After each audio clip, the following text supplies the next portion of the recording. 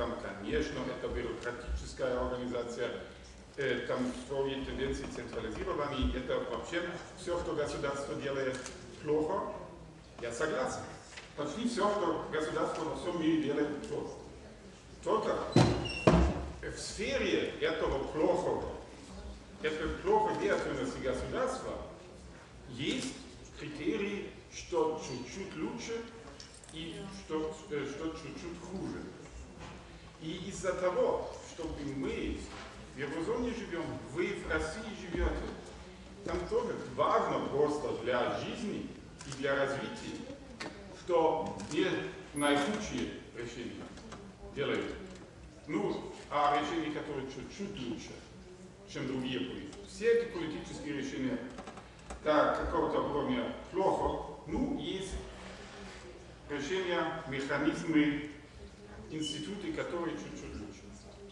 Из-за того э, я буду чуть-чуть объяснить проблемы еврозоны, потому что э, это важно, потому что даже в еврозоне и в Евросоюзе все объяснения, э, они, они очень, очень плохо всегда с, э, с точки зрения и экономической, и индивидуальной свободы. Э, что я здесь говорю, это э, до половины доклада это э, э, основано на, на, э, на э, краткий текст, который я писал за Competitive Enterprise Institute. Э, английское название это Freeing Europe from the Euro. Probably э, э, на русский язык. По-моему, лучшее название было бы ähm, Freeing Europe from the Euro Monopoly. Äh, это чуть-чуть другое äh, дело.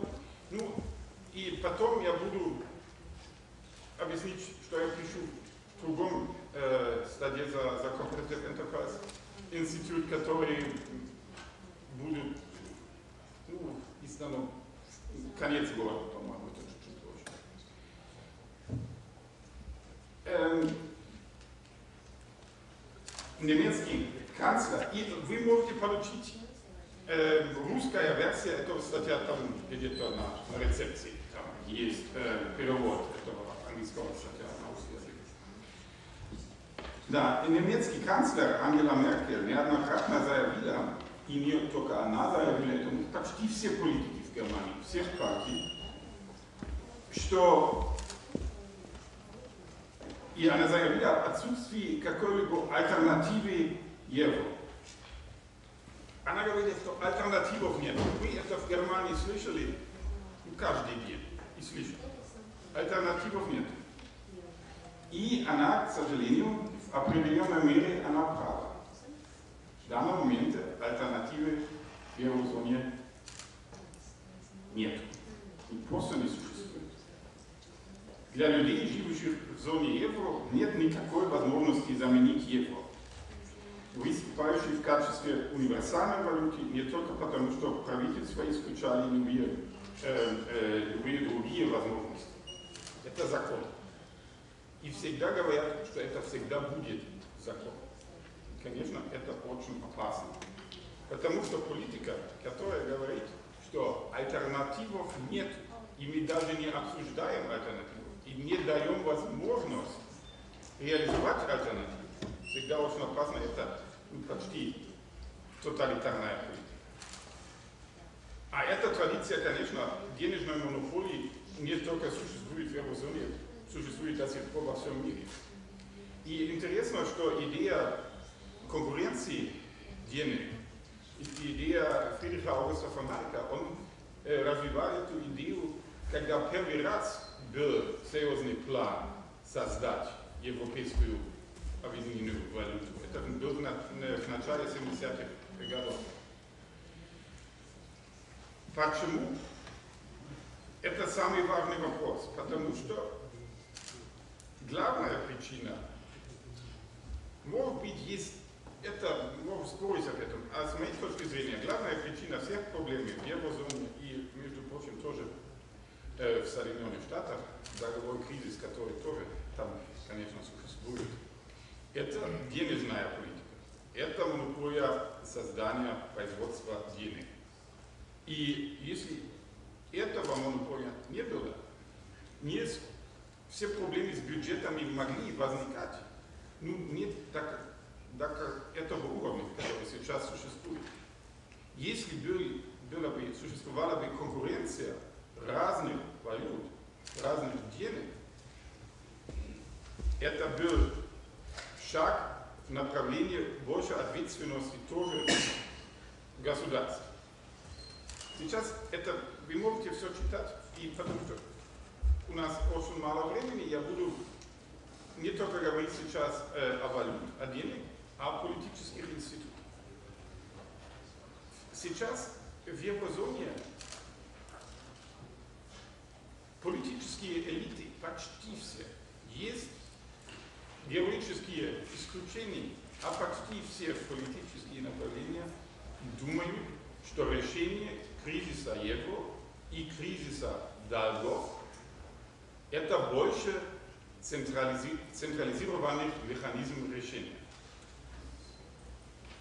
Они так думают, и все в Германии, все политические партии так думают, все.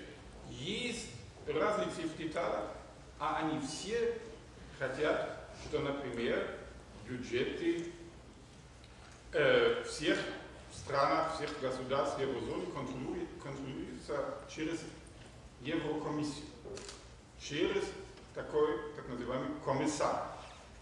И немецкий министр финансов эм, сейчас заявил, два-три дня тому назад, что этот комиссар должен иметь компетенцию, компетенцию проверить все бюджеты, проверить все бюджеты всех стран еврозоны.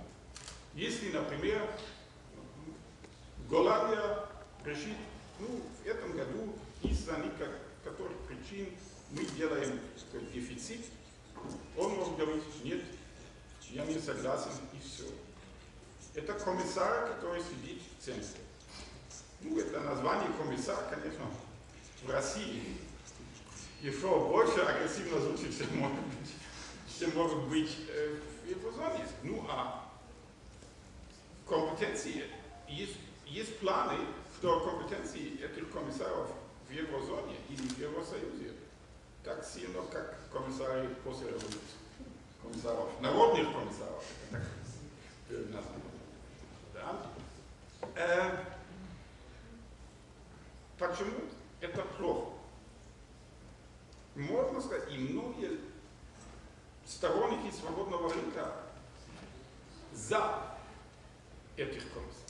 Это интересно. Они говорят, нет, это единственная возможность ограничить дефициты, ограничить такие очень э, безумные политики многих стран. И они говорят, особенно в Германии, ну это только это спасение для нас. Если этого комиссара нет, этого контроля бюджетов, бюджетов нету, тогда мы, как немцы, всегда, навсегда будем платить для всех. Что мы в данном моменте делаем, ну не для всех, а для греков. И я, и это никто хочет слышать. Я говорю, всегда отвечаю на это. Это не важно. Это, конечно, важно, сколько, сколько мы платим, да, и мы не можем так много платить. Это, это верно, а это не так важно, как стимулы, которые производят эти централизированные механизмы, которые мы в данном моменте создаем. И которые многие политики хотят создать. Это есть вопрос, сколько, что, какой, какая страна платит, и, или и есть вопрос, как развиваются институты. И, конечно, из обеих этих решений, этих систем возникают стимулы для будущего. И стимулы централизации очень плохие, потому что это значит безответственность навсегда. если этот комиссар или европравительство, это не играет роль, это называем, в данном моменте делает до какого-то уровня умные вещи. Ограничить бюджет, это звучит неплохо в данном моменте. И другие вещи, которые, ну, это хорошо, что они такие большие бюджеты. А все страны дают их ответственность этому комиссару, этому правительству. И это долгосрочно намного больше дорого стоит всем. Потому что там будет нет ответственности на низком уровне, только ответственность на самом высоком уровне, в центре. И ответственность в центре нет ответственности. Потому что они там в центре, не, они очень далеко от всех проблем и очень далеко от возможности ну, платить за их решения. В политическом смысле, не в финансовом смысле. Они в финансовом смысле они никогда не могут платить. Да, все это. Ну, а тоже в политическом смысле. И это очень удобно для политиков всех других уровней. Это тоже интересно. Всегда часто есть вопрос, почему политики стран, регионов так легко дают ответственность и компетенции центра. И даже в данном моменте это хотят. Потому что жизнь после этого легче. Если министр финансов может сказать, или правительство может сказать, да, это решили в Брюсселе. Это то же самое, как политик в России может сказать, решили в Москве. Там разницы нет. Это для него намного удобнее. Ответственность просто не у него нет. Хорошо. Из-за этого очень важно, что есть в политической сфере ответственности близко к проблемам. И если там кто-то решает, где тратят деньги, или какие деньги, за, за что тратят, этот политик, этот институт должен быть ответственным граждане.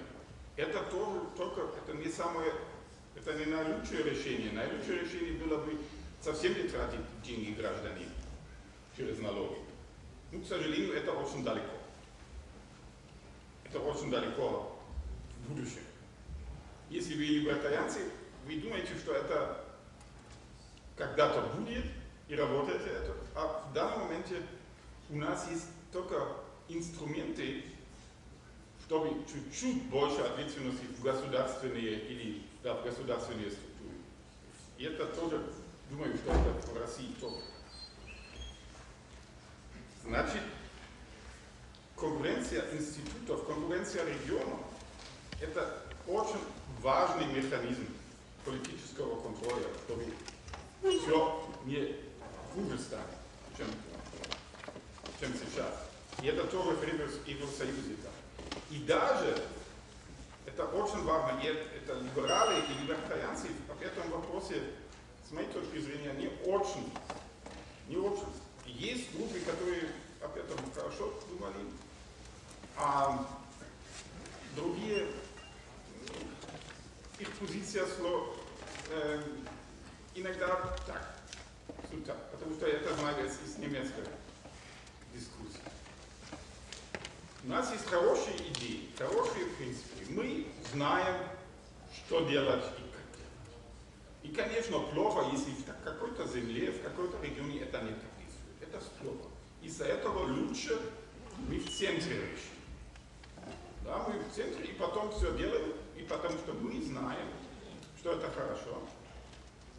Это будет хорошо. Иногда это звучит больше либеральное решение. Как больше либеральное решение. Это очень опасно. Это может быть не опасно, если мы говорим о так очень абстрактные принципы, такие очень абстрактные принципы, как права человека и так далее, верховенство закона. А если мы говорим, мы говорим о политические решения, а так называемые государственные инвестиции, а социальные системы, так, так, так далее. Мы просто не знаем, мы действуем в сфере незнания. Мы просто не знаем, какие решения лучше, какие решения могут возникать. И из-за этого самый важный инструмент, чтобы гарантировать, что ну, наша система улучшится, это конкуренция институтов, конкуренция регионов и возможность гражданин из одного одного региона, одного государства, одной земли и так, далее, идти в другое. Это самый большой важный инструмент. В Евросоюзе, если все эти планы централизации реализуются, ну, конечно, еще есть выход, да? Ну, а это намного сложнее. Если есть, например, разные социальные системы в рамках Еврозоны, есть разные законодательства налогов, налог, налоговые законодательства, экономические законодательства. Это намного легче решить, нет, я буду жить не здесь, а 50 километров на север, например, или на, на восток, или так далее. Там другое законодательство. И это тоже механизм адаптации стран. Если одна страна показывает, например, что с низкими налогами тоже могут строить хорошую инфраструктуру и так далее. Это большое давление для других. Конечно, большие страны и многие страны не хотят это давление. Из-за того они хотят, они называют это гармонизировать налоги, социальные системы. Это, между прочим, это тоже ужасная терминология, потому что гармонии там не все равно, это очень разные части в гармонии, в музыке и в искусстве. Что они хотят, это все равнивать, все на один уровень. И, и это очень опасно. И мы сейчас в Евросоюзе видим очень опасные тенденции. И самое важное не что платить за кого. Да, конечно, я немец. Это, конечно, это очень печально, что мои налоги идут, что мои налоги идут в Грецию. Это печально. А намного больше печально, что ответ политиков на это – централизация компетенций. И это долгосрочно не стоит только денег, а стоит свободу.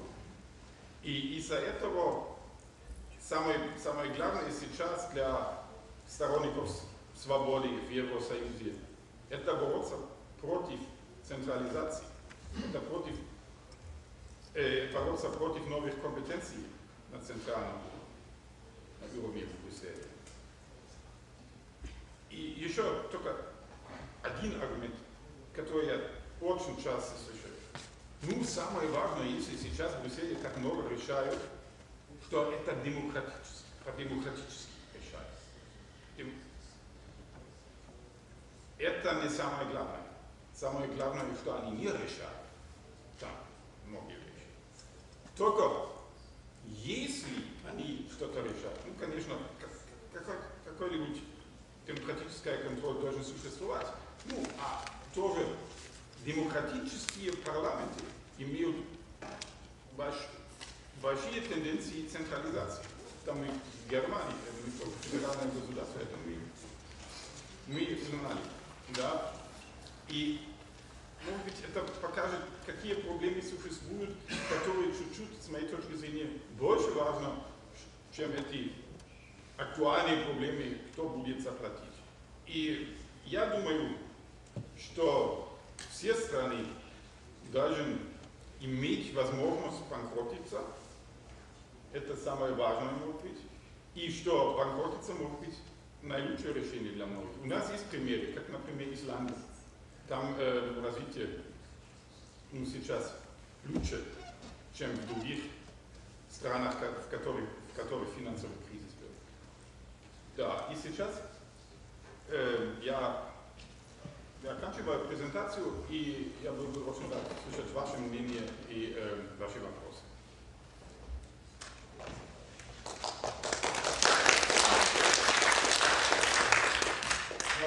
У кого есть вопросы к Саше Таму? Поднимайте руки, вам дадут микрофон.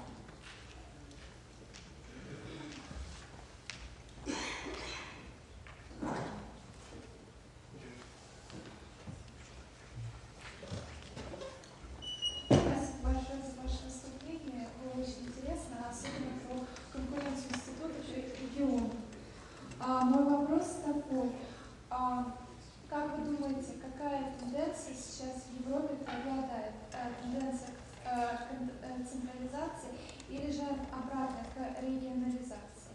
И а, находясь в государстве, которое а, в плане регионализма а, намного слабее, чем в Германии или Евросоюз, то есть в России с регионализмом все намного хуже. Отсюда представляется, что Европейский Союз все-таки представляет регионам достаточно много полномочий а, в сравнении с Россией. Вот все-таки какова перспектива этого? И интеграция, она может ли быть а, для регионализации положительным явлением? Что вы думаете по этому поводу? Спасибо. Эм, спасибо за вопрос. На первый вопрос. К сожалению, сейчас в еврозоне тенденции э, в направлении централизации. Вся если мы говорим о риторике, вся политическая риторика почти всех политиков в направлении большей централизации компетенций. И они всегда говорят об ответственности, например, Греции или, или Ирландии или Португалии, все равно.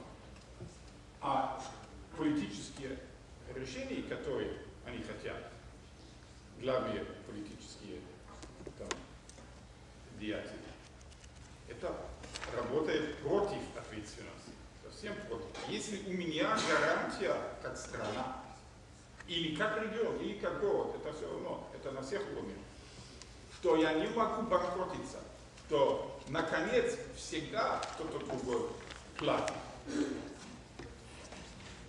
Ответственность просто не существует. Может, и, между прочим, если так называемые спекулянты знают, что евро на всегда существует, как все, и других валют, других денег не будет, это для, для них очень легкая игра. Да, это, да, и я когда-то писал, что политики, политики всегда очень критикуют спекулянтов и так далее. А в реальности, политической реальности, они помогают одной группе спекулянтов. И это группа, которая думает, что государство всегда найдут возможность получить деньги от, от, от их граждан. Да, что просто их власть хватит, чтобы всегда налоги получить. И это, конечно, да. Да, ну, это, это вопрос. Второй вопрос, конечно,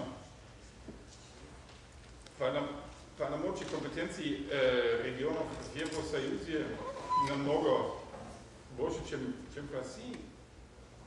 Э, а я думаю, что это что они должны еще выше этой компетенции, чем они сейчас. И это, а что важно, и в России тоже э, существует такая система очень больших грантов для, для регионов. Да? И это, система очень непроизводительна, непродуктивна. Гранты всегда плохо. С моей точки зрения, это ну, важно в Германии и так далее, что каждый регион, каждое государство, каждый муниципалитет и так далее должен получить финансовые средства не от какого-то центра, а высокого уровня, а от их граждан или их компаний. Это значит, что они чуть-чуть больше ответственно будут действовать. И это, например, как в Швейцарии. Они налоги на очень низком уровне получают налоги.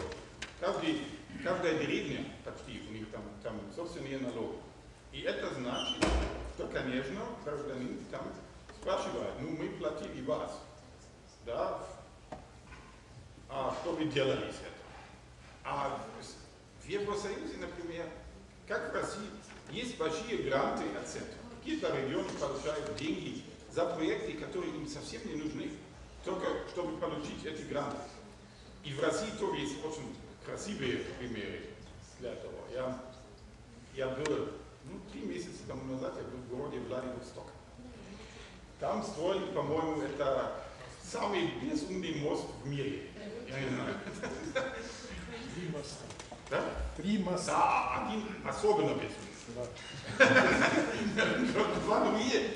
Есть смысл других внутри города. А на этот остров это ужасно. Э, Это просто, ну, да. Э, И, конечно, если там муниципалитет Владивосток или регион Дальневосток или что-то такое, да, они никогда не строили этот мост с финансовыми средствами их гражданин. Их гражданин спрашивали бы, ну, смотрите, какие дороги, там, улицы в Владивостоке, например. Там очень красивый мост, а до этого моста, ну, это, ну, типические э, русские просто дороги.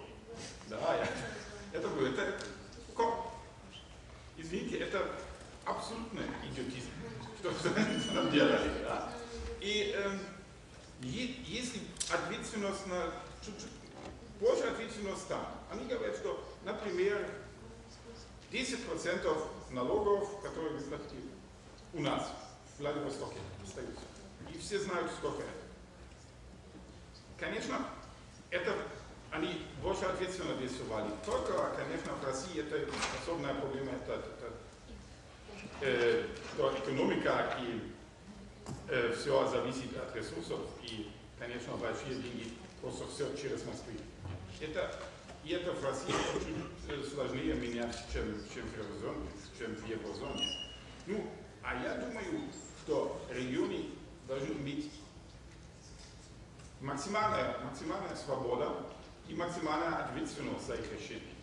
Что центры, если надо, если надо центры, они э, только должны гарантировать верховенство закона и возможность от одного региона без проблем в другой переехать, торговать и так далее. И это все.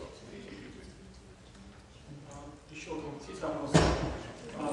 Да, сейчас у меня есть вопрос. В Твиттере пишут нам, спрашивают, вот вы тут ругаете так Евросоюз, а с чем вот связано вручение ему Нобелевской премии мира? Как вы можете это прокомментировать? Ну, могу, могу комментировать, что э, это Нобелевская премия, там есть ну, очень многие страшные примеры. Я только помню, что э, четыре года, и три года тому назад получил Нобелевскую премию, он этот большой политик тоже создавал после этого, как президент с полномочиями очень мирный мир, как мы все знаем. Ну, это, это по-моему, это, это типическая риторика э, политических элит просто, чтобы думать и демонстрировать, что особенные институты гарантируют что-то, а не принципы. Ja, äh, это может быть главная проблема. Институты меняются, развиваются, меняется их перспектив далее. И из-за этого, э, из-за этого самое важное для, для их оценки э, это э, принципы. Евросоюз мог быть в любое направление. Любое. Самое важное,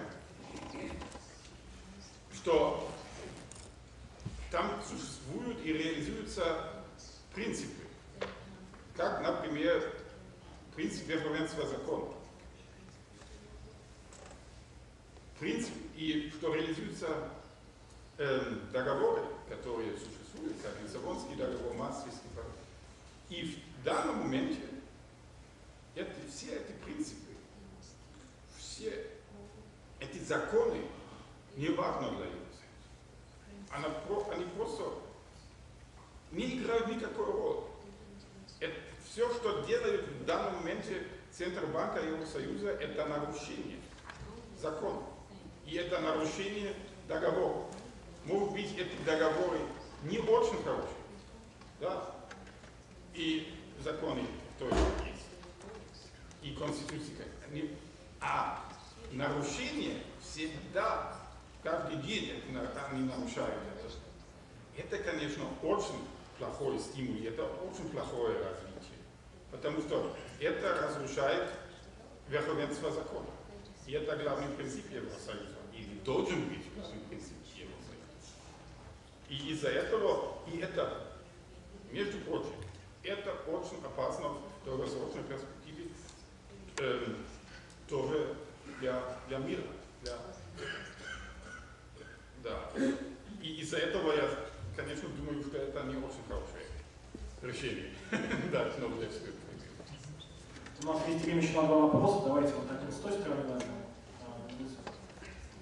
А как вы оцениваете то, что сказал Буковский про Евросоюз, что он вообще вкатывается в какой-то совок и Что? Владимир, Вы говорите без микрофона, я вообще дал слово залу, извините. О, пожалуйста. Добрый день, меня зовут Алексей. Я хотел вот о чем спросить. Вот вы говорили там, по вашей части о конкуренции, так сказать, я, например, на муниципальном уровне, да? Да. Вот э, ну, известно, да, что в 20 веке в Европе было много сепаратистских тенденций, много, там есть ряд меньшин, которые добивались независимости. И вот недавно как раз назначен был 2014 год референдум о независимости Шотландии. И в связи с этим вопрос, вот, считаете ли вы, что это хороший, так сказать, путь, которым можно идти, так сказать, по децентрализации, да, добиваться независимости локально? Или, вот, если, скажем, Шотландия, она получит независимость, тогда она, судя по всему, попадет в зону евро, да, в Евросоюз, в ту же самую евробюрократию. Или это все-таки не, не, не тот путь, которым нужно идти?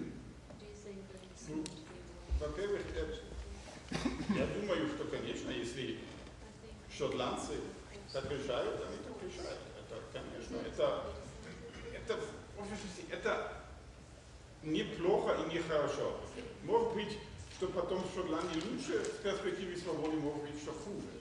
Это такая сецессия, ну, просто мы не знаем. Если они, конечно, я, как я слышал, они даже хотят быть независимым, а член Евросоюза после этого. Это, это их решение просто. Ну, только я думаю, что, конечно, свободные люди могут решать, мы дальше не хотим жить в этом государстве. Только с индивидуальной перспективы это иногда может быть сложно. Я не думаю, что в Шотландии что-то будет сложности. А, например, мы видели на Балкане и в других регионах, когда там независимые э, государства возникли, э, что, конечно, там не всегда права человека ну, действовали, как они должны, что, потому что возникают новые меньшинства, например, в таких государствах. Я в следующей неделе я буду в Барселоне, Каталония. Там тоже есть такие э, сильные тенденции. Они хотят стать независимыми от Испании. Там не, не все, а может быть большинство. Может быть там тоже такое голосование будет когда-то. А я думаю, что если они в принципе у многих государств потом есть в принципе конституции основаны на, на принципах свободы, это совсем нет проблем. Да, и еврозона, и его бюрократия и так далее. Я думаю, что и это начало всего было. Я думаю, что, э, что деньги, что евро, если существует через 10 лет, дальше, да, и все это бюрократия, э, она, евро только может существовать в, э, в пространстве или сфере конкуренции. Я думаю, что через 10-15 лет мы в еврозоне у нас будут больше денег, чем сегодня. Я не уверен, что будут, что будут тоже частные деньги. Я думаю, что должны быть. Ну, конечно, а, может быть, это нереально. А я думаю, что мы будем жить э, в зоне, где евро не имеет монопол. Я почти уверен. Это значит, что тоже влияние Евроцентробанка сегодня. Я надеюсь, что это так. Не только думаю, тоже надеюсь. Последний вопрос. Как господин там, я начинал Павел, я студент факультета политологии МГИМО. Я вопрос. Скажите, пожалуйста, на ваш взгляд, в чем заключается причина того, что Европейский Союз а, и такие крупные страны, которые играют ну, важную роль, как Германия и Франция, не способны или, например, не желают предпринимать какие-либо твердые и а, четкие шаги по отношению к российскому правительству, которые не только нарушают а, взгляды на себя обязательства по членствам а, Европы, но и систематически нарушают права человека внутри а, собственной страны. Как вы считаете, почему? А какие, что вы имеете в виду там? э, А, например, а, например а, принятие репрессивного пакета законов, а, принятие репрессивных мер по отношению к гражданскому населению внутри страны, а, систематические нарушения на выборах, которые были зафиксированы Европейским комиссией. Почему на этом фоне европейские лидеры, такие как, например, Ангела Меркель, а, устраивают встречи господину Путину вместо того, чтобы а, присоединиться к общем-то объявить бойкот за нарушение а, европейских обязательств? Спасибо. Я мог ответить и на такой вопрос ответить. Ну, вы сами знаете ответ на этот вопрос. Эм, Ну, ам, конечно, есть причины, что политическая риторика лидеров в еврозоне в отношении к России другая, если Россия или лидеры России нарушают э, какие-то правила, чем напротив, я не знаю, Беларуси. И вы знаете сами разницу между Россией и Беларусью. Что вы имеете, Беларусь не имеет, и тоже, что Россия огромная страна и так далее. Я думаю, что в этом плане чуть-чуть думаю, что ситуация менялась. Что э, сейчас, например, в, Германии много политиков хотят э, другую политическую риторику напротив России. Например, в данном моменте внутри христианских демократов, самой большой партии в Германии, очень сильный спор, потому что э, они сейчас, э, у них дискуссия о такой документе о стратегии на, о России, политической стратегии, это в ЦДУ, да, и там есть две группы, две, ну, господин Шокинов и другие, которые хотят сильно открыто критиковать нарушение прав. И есть другая группа, которая думает, ну, они должны дать э, нам их природный газ и их ресурсы, и все, все остальное, все. Это абсолютно. И есть позиции между ними. И я думаю, просто еще важно, что в данном моменте и Россия, и нарушение прав человека везде просто в, э, в головах наших политиков ну, очень ну, просто не играют роль там, да, они, у них сейчас другие проблемы. А я думаю, что они, они,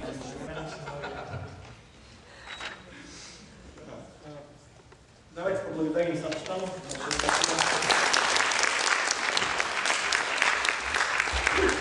А, у меня пока несколько организационных объявлений есть небольших. А, кто взял наушники для синхронного перевода, а, на этой секции они вам больше не понадобятся, просто, вы просто как бы читать дальше, потому что они понадобятся нашим коллегам на экономической секции, где будет выступать господин Тен. И еще небольшое у нас, к сожалению, вышло изменение в программе. А, Константин Крылов, вот он сейчас звонил, э, он приболел, очень извинялся, что не сможет приехать, и передавал нам удачи и пожелал нам. А давайте мы его поддержим аплодисментами.